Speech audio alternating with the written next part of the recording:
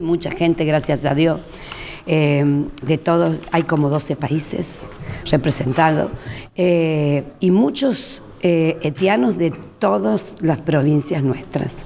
Creo que, queda, creo que queda solamente una provincia sin representar, pero hay de Ushuaia, hay de, de Chubut, de Tierra del Fuego, pero desde el norte al sur. realmente es un, no sé, para nosotros satisfactorio, mostrar la, ciudad y que ellos estén disfrutando de lo nuestro. A pesar de que no es mi ciudad, pero yo la quiero como mía. ¿Cómo es este tema del, del ETI, este encuentro de tangos del, interior, que es, eh, digamos, cerrado, hay que inscribirse, no está abierto a todo público, ¿no? Eh, en realidad no es cerrado, es un encuentro, es un movimiento cultural nómade que arrancó hace 10 años, donde se juntaron eh, profesores de tango, alumnos de tango, docentes, eh, para promover la danza, el tango, eh, rescatar nuestra identidad como pueblo, nuestras raíces. Entonces el encuentro convoca a conocer nuestro país y a difundir la danza del tango en todo el país. El encuentro ya lleva 10 años, lleva 29 encuentros realizados. Eh, por distintas eh, localidades de la Argentina, salvo dos veces que salió afuera, que salió a Piriápolis en Uruguay y el último que salió a Concepción a Chile.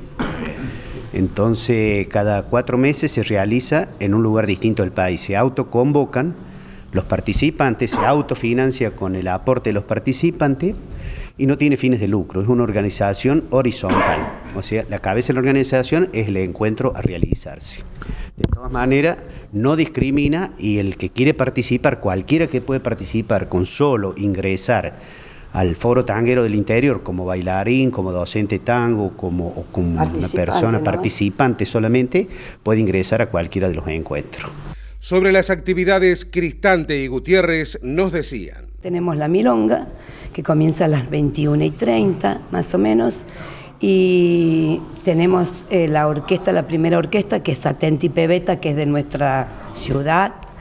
Eh, y después tenemos eh, la típica Farabut, que es de, también es de, de nuestra provincia, que es de La Falda. Que sea con éxito. Este Ese es el viernes nomás. Ah, el viernes, porque sí. sábado, domingo y lunes.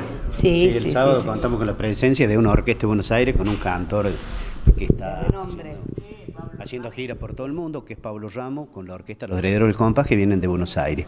Y el domingo tenemos un grupo de folclore local que es Raza Guitarrera, con un asado tradicional, asado de los domingos. Desde el Chaco nos visita para esta cita tanguera Elvia Press. Lo que yo espero es encontrarme con todos los amigos y poder seguir difundiendo nuestra danza y poder llevar este todo y ojalá poder incentivar y acrecentar, ¿no es cierto?, todo lo que sea la cultura de nuestra música ciudadana. ¿Cómo ve a los jóvenes, digamos, respecto a este estilo, a esto? ¿Están comprometidos y cada vez más? ¿Han notado que han bajado? A los jóvenes yo veo, por lo menos en resistencia, ¿eh? yo voy a hablar de resistencia, Belville no sé nada, pero de resistencia yo estoy, doy clase en el Club Social Resistencia y tengo gente grande y, gente joven y todos están interesados, así les gusta muchísimo. Una vez que les prende la vacuna no pueden dejar más, ¿eh? sí, porque sí, no sé cómo decir, sí, es sí, no se puede dejar el tango, es imposible dejarlo, así que sí, si ustedes lo comienzan no lo van a dejar tampoco.